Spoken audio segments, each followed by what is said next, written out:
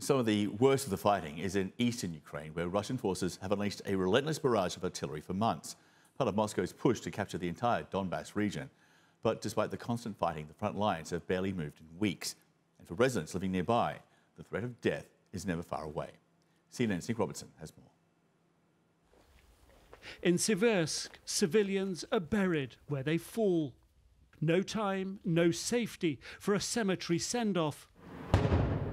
No bomb too big, no building in this eastern Ukrainian town seemingly off Russia's target list in their slow but relentless push westwards.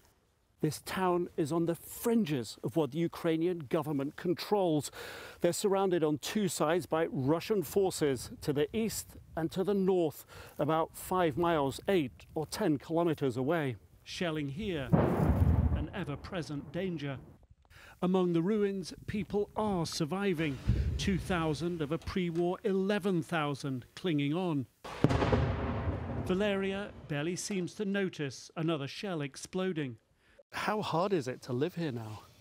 I don't realize it, but she's about to teach me how hard. She's not kidding. She comes back with a saw and a floorboard scavenged from a blown building.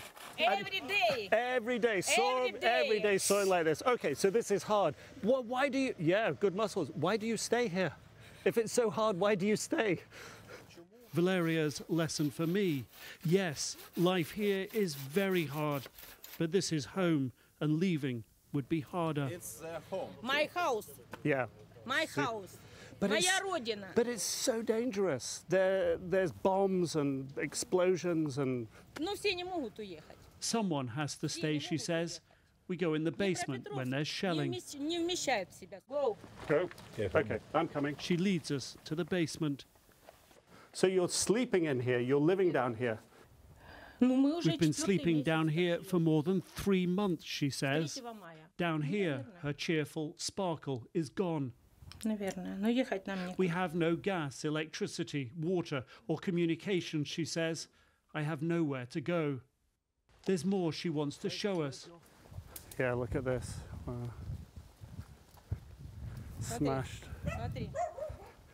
Valeria's neighbours, like her, cooking outside.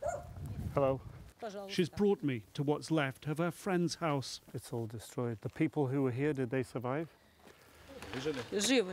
God saved them, she says, but now they've left. By local standards, the shelling this day less than usual. This elderly lady venturing out for food. She tells us the food handout she needs hasn't arrived. The shelling getting closer. We go. Not so lucky, those we leave behind. Nic Robertson, CNN, Siversk, Ukraine.